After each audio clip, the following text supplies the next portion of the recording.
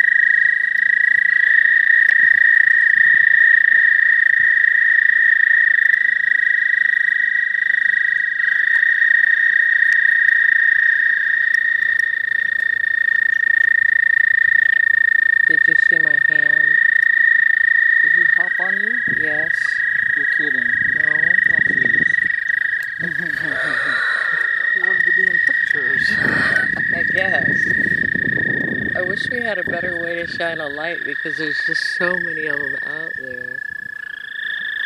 And, and the camera is not doing a great job, but I don't know how to use it either. No.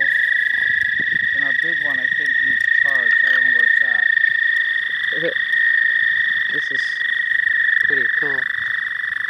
Little guy on that rock out there, but it's too hard to see.